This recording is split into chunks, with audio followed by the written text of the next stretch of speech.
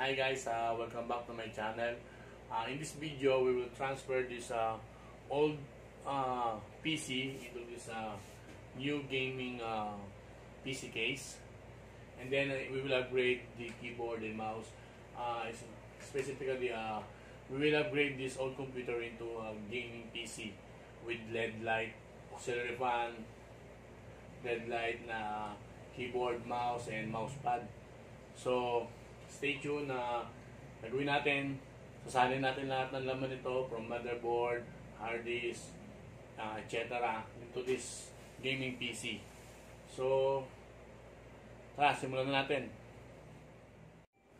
So, uh, na tayo sa old computer. So, ang kailangan lang natin dito screwdriver. So, mas maganda kung yung screwdriver niyo is uh, may magnet dito sa dulo para yung mga tornilyo madali makuha.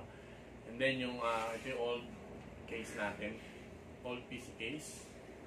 So ayan, old PC case natin. Medyo marami na siyang gas-gas. Tapos sira na yung sampaan niya. So gagawin natin, na-transfer natin lahat ng laman ito into a new gaming uh, PC case. So simulan na natin. First, uh, higa muna natin siya.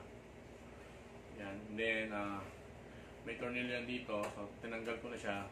Then, pag tanggalin siya, slide nyo lang. So, okay na. Tanggal na yung case.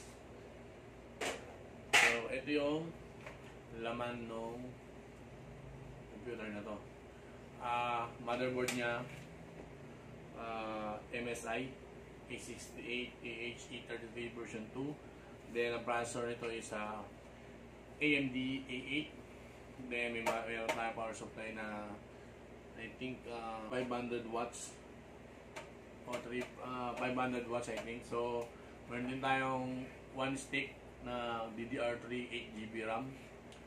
So, itong PC na to, kaya na mag-run ito ng mga games like Dota 2, League of Legends, Rules of Survival.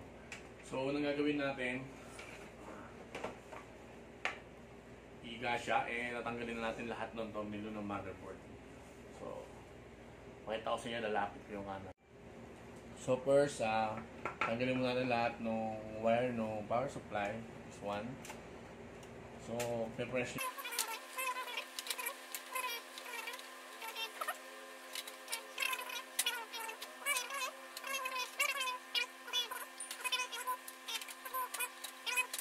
Make sure na tanggalin siya lahat. After mo siyang tanggal lahat, tatanggalin mo na lahat ng tuloy niya. Meron tayong isa, dalawa, tatlo, apat, lima. So, limang tornilyo na tatanggalin natin. So, tanggalin na natin sila isa-isa.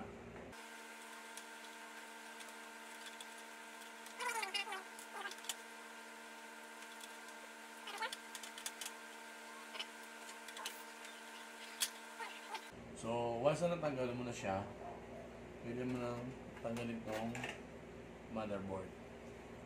So, ito na siya. Okay. So, mas maganda dyan kung meron kang brush para yung mga dumi, matanggal mo din. Kasi nga, old unit na to. So, medyo may dumi na. So, ito yung brush natin. Ayan. So,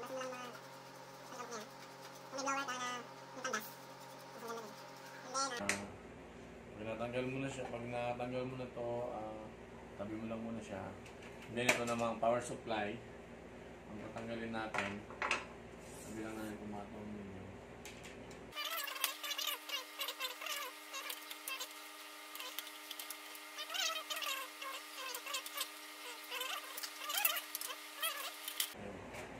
So ito na yung power supply natin. Diba? Maklas na siya. So kunin mo lang itong power supply.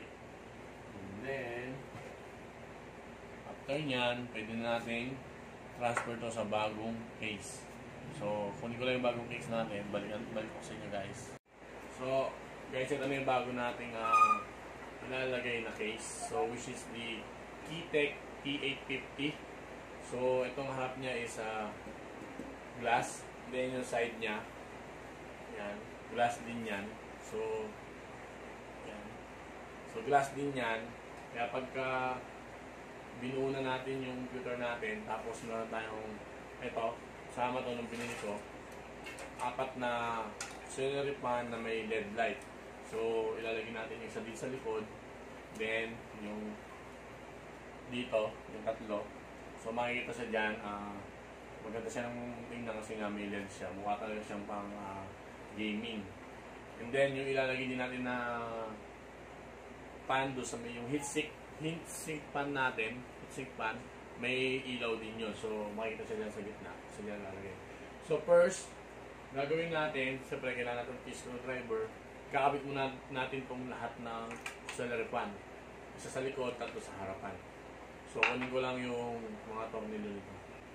So, guys, ang una natin gagawin is tanggalin muna natin itong apat na tornilyo dito para magbukas natin itong side panel. So, unahin natin itong isa.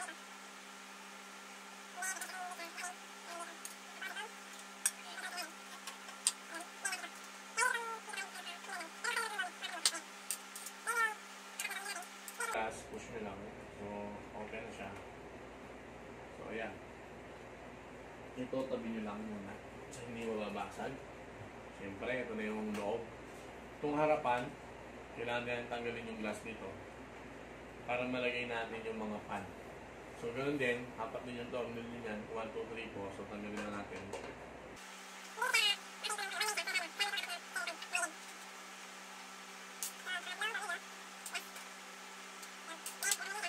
Ito, push nyo lang. So, ito na. Yung isang niya sa harap. Tabi nyo lang muna. Then, yun, ito na yung ah yung tatlong butas ng para sa auxiliary sa yung sa likod.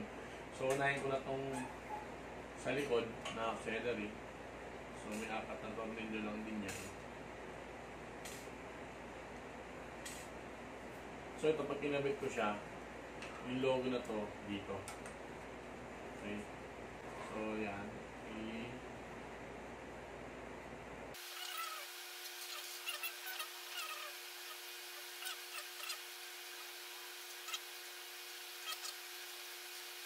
Okay. And then, uh, so guys, next natin kakabit kasi ito na.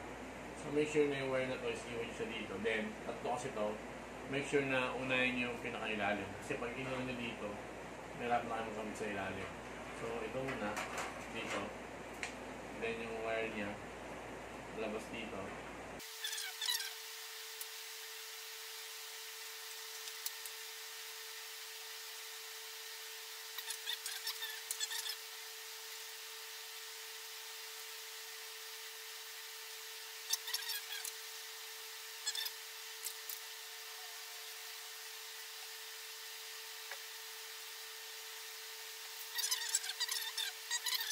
So, guys. So, ako nagkabit ako ng dalawang mouse pad dito.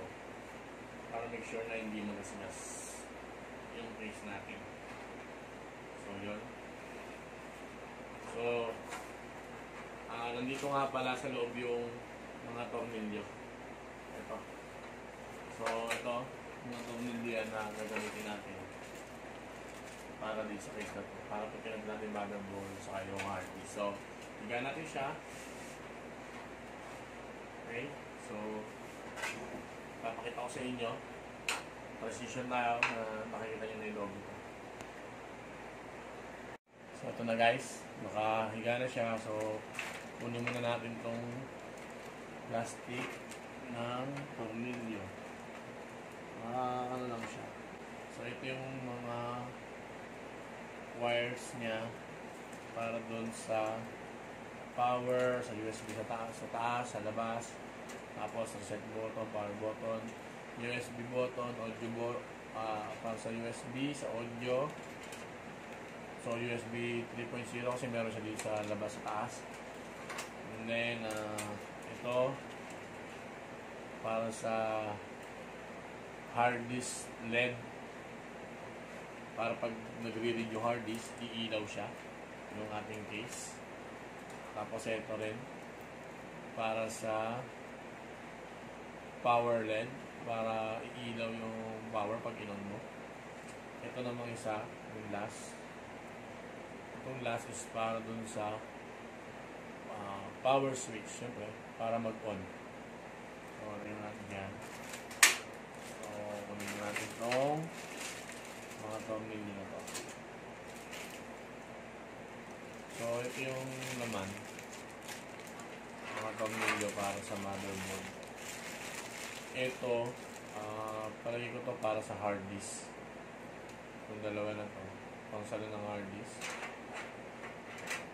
Then ito mga strap lang para sa cable management. Strap. And then, ah, ito, ito na yung para sa hard disk at kung ano-ano pa dito sa loob. So, gawin na natin to. So, I think, ah, unahin ko ng mm, ilagay yung ah, power supply. So, ito, di pa tayo nakabili ng bagong power supply. Ito pa din yung luma natin. So, ikakabit lang muna natin siya dito sa likod. Check lang natin. So, yan. So, ah, manyarin mo nyo lang itong dalawa na to. Yung dalawa niya. Ito yung pinakalikuran ng ah, computer case. Tanggalin na siya. Okay.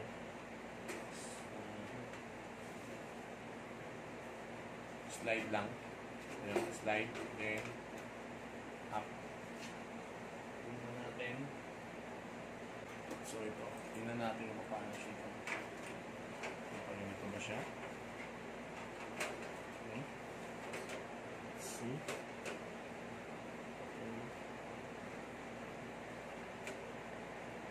So, yun. So, pag ganito yung kabit niya, ito nyo naman, swak lahat ng tornilyo. So, gagawin lang natin dahil kakabit na natin yung tornilyo na tinanggal natin kanina. Yung tatlong piraso. So, kukuha na lang tayo mamaya dito dahil may sasobra naman dito. So,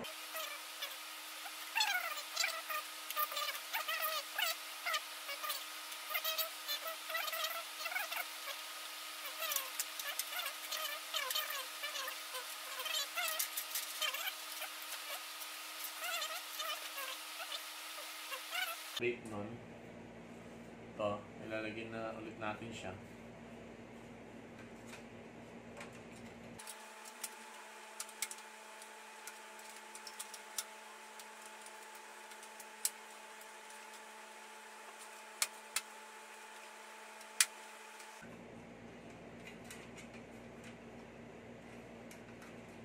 So yun, kumita natin siya. And then ito, motherboard, kakabit muna natin tong heatsink. So ito yung pinaka-bracket niya, guys. Yung pinaka-bracket niya.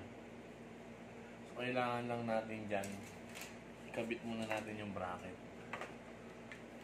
So yan. Na makita niyo.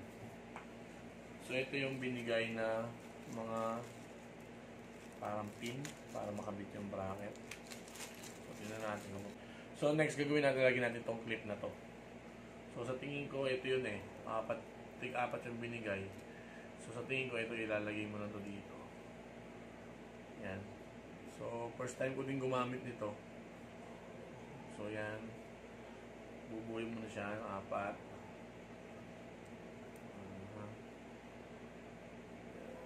First time ko lang mag gumamit ng ganitong heatsink.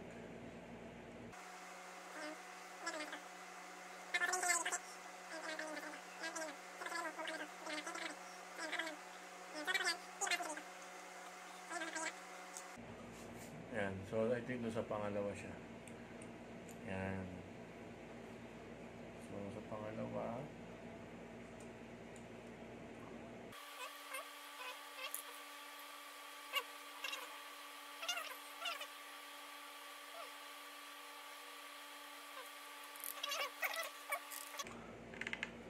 Ma, yun. Kailangan to yan, tumagos siya doon. So, kung isa, nakabuka na, hindi pa siya nasasalpak. So, mali yan. So, ulitin natin itong isa.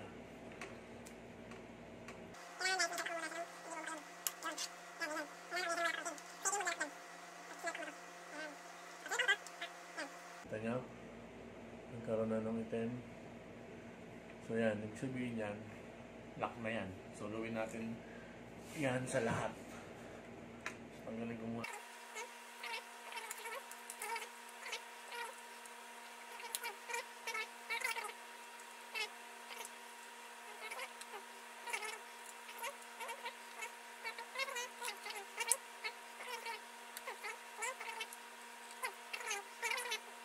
Siya, nakabuka.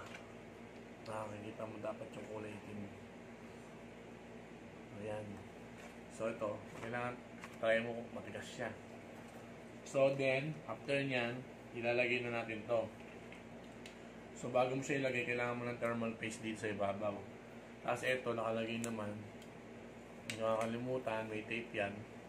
Kasi baka pag nilagay nyo na may tape, ano ba? Pag nilagay nyo may plastic, baka masunog. So tanggalin yan. And then, apply tayo ng thermal paste. Ah, so ito yung thermal paste ko. Yung isang ganito, dati 100 pesos lang to eh. Ngayon yata 300 na to. So, ako bago ako maglagay, pinupusit ko muna siya dito. Para yun, oh. Yan. Tapos ito guys, lilinisin nyo to kung may dumi ng thermal paste dyan. Lilinisin nyo lang ng tissue. So, mag-apply lang kayo dito sa gitna ng konti. Yan. Yan lang. Kung yun siyang ikakalat, so ganyan lang. So, kasi pag pinit mo tong, tong heatsink na to, pa-flat na yan, kakalat na yan sa buo. Sa buong processor. So, ngayon ito, ang tema nito, yan yung lock niya. Parang AM sa AM din talaga yung lock niya. So, gan- ganun lang. Kaya nung nakita ko ito noon, nakala ko pang AMD siya talaga. Yun pala, hindi siya kasya. So, pag ganito ko siya ilalagay. Makita niyo guys. Di ba yan? So, lagay natin. Okay. So, guys, ayun. Ito na yung heatsink. Sabi ko muna siya dyan. And then, ito, kita mo to. Yan. Ilay mo siya, pahilang ng pababa hanggang sa mashoot mo siya ron para mag-lock. And then, kinabit na rin natin yung cable niya. So, next natin kakabit is itong mga ah, audio, USB, power button, reset button, saka yung mga LED, ah, power LED, hard disk LED dito sa motherboard. So, una, alam na natin to. Ito yung mga yon. So, maganda ang gagawin natin dyan. Ilusot natin siya siguro para hindi siya makalat na makikita dito sa labas. So, ayan. Ilusot natin lahat dito. So,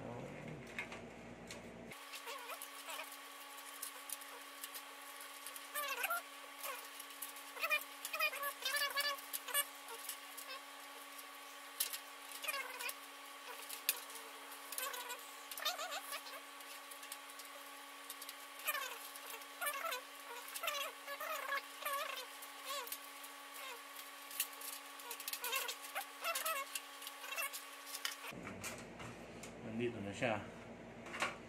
Nandito na siya. Ito na siya lahat. Diba? Hmm. Ngayon, ilalagay na natin siya sa board. Next natin, ito yung board. So, lagay muna natin tong mga to. Ito muna tayo sa audio, USB, and audio. So, dito sa motherboard, kaya hindi ko pa siya tinakabit para madali. So, yan. Makikita nyo naman dyan, USB. So, may pattern naman yan. So, yan. Kabit nyo lang.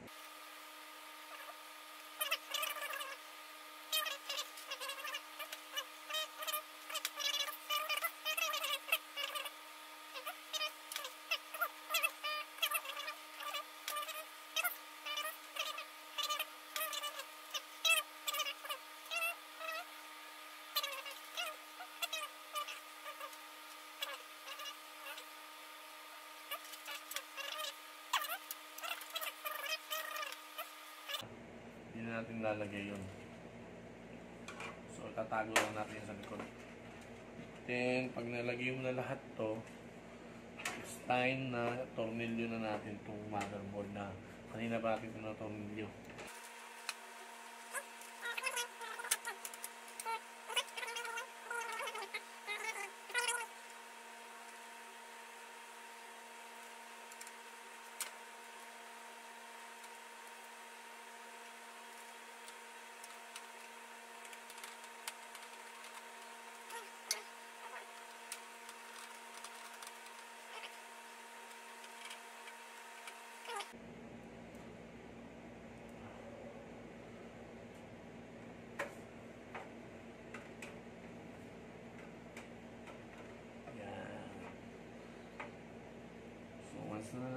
Siya.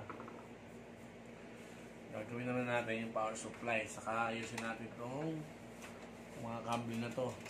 Ayan. So, ayusin ko na siya. Ah. so, yun guys. Ah, yan. So, yun lang natin ito dito para connect natin siya. Here. Tapos, yung 14 niya.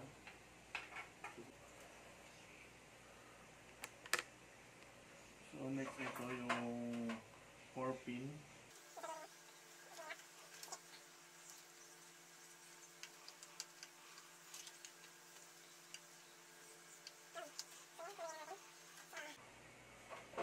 Yan.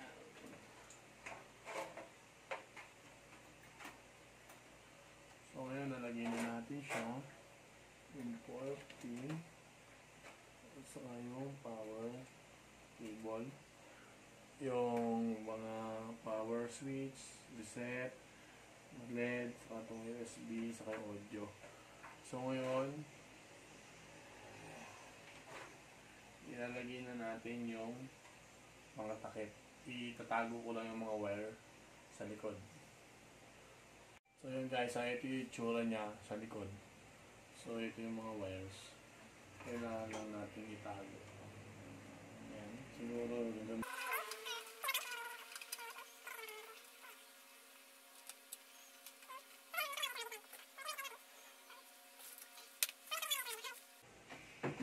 So yung next natin ilalagay is hard disk drive. So meron tayo dito 500 GB. So ito yung ginagamit na ilalagay dito. So makita nyo na meron yan. Right, left, tapos ito right, makita nyo dyan. So, yan, dito. Yung isa na to, yung butas, pasok nyo dyan. Yan, ganon. So, pasok na natin yan. Ayan, tapos ito yung silin. Pasok na sila. Tapos ito isa. Pasok din natin. Ayan, tapos, Ito na yung pasok mo dito. Yan. Tapos mag-clip. Diba? Hindi na siya. Okay? So, next natin lalagay dyan is yung pa power cable na SATA. So, makikita nyo yan. Ayan. Ayan. So, lalagay natin itong isang cable na SATA. Ito. So, lagyan na natin. And then, ilalagay din natin yung SATA cable. Papunta sa motherboard. So, ito yon SATA cable. Papunta sa motherboard. So, from here, saksak nyo sa hard disk nyo. Tapos ito, pasok nyo lang ulit dito. Ayan. So, pag napasok siya dyan, makikita nyo na siya dito. So, ayan, ito siya. So, sasalpa ko lang siya dito sa satawan slot. Okay? Ito. Ito yung mga SATA slot yan. So, pasok na.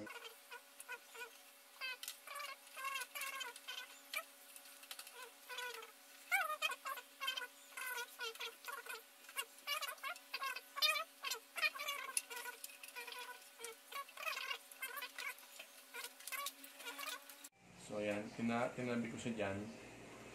Yung SAT cable. Ay yung power cable ng mga fan. Ito yun sa tatlo. Tapos itong nilusot natin kanina. Dito na siya lalagay. So, yan, yung sheet naman. At hindi kayo magkakamali. So, and then,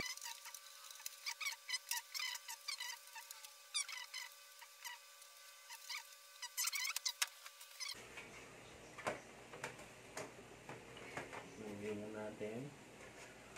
Over.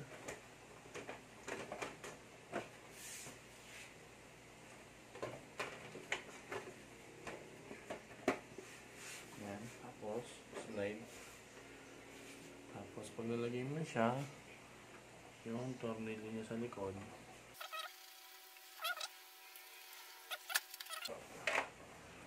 So, yun. Yan na siya. So, yan na yung tsura niya. So, ibabaw.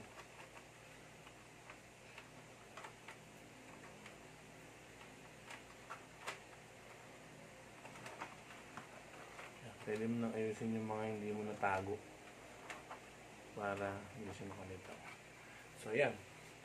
Pag ganyan na siya, next natin is lalagyan na natin yung cover dito. Yung glass cover dito sa harapan.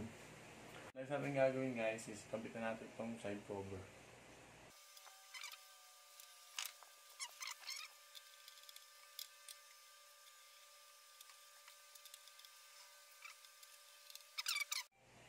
So, ito na yung harap na ilalagay natin. Yun guys. ah okay na siya. Napunasan na natin. So, kakabit natin siya dito sa harapan.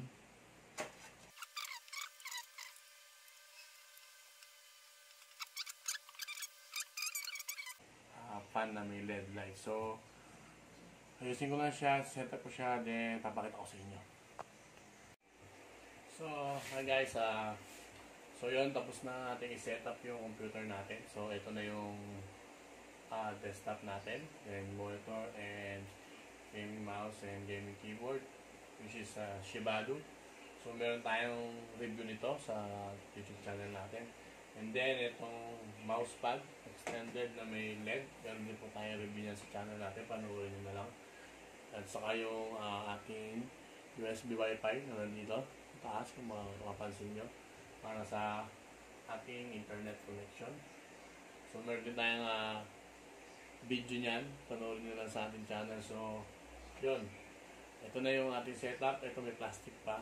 Ito lang hindi ko tinanggal. So, yun. Ganun lang kasimple magkabit nung mag-transfer ng motherboard saka lahat ng laman ng computer sa ibang CPU case.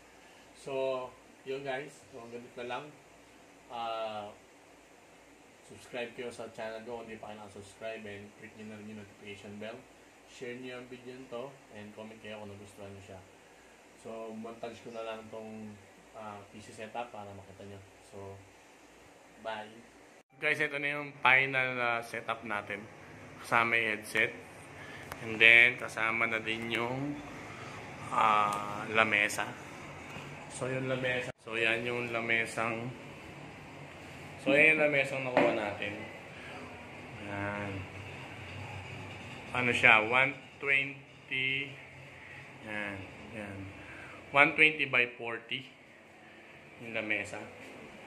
So, yan yung setup natin. So, montage na natin siya, guys.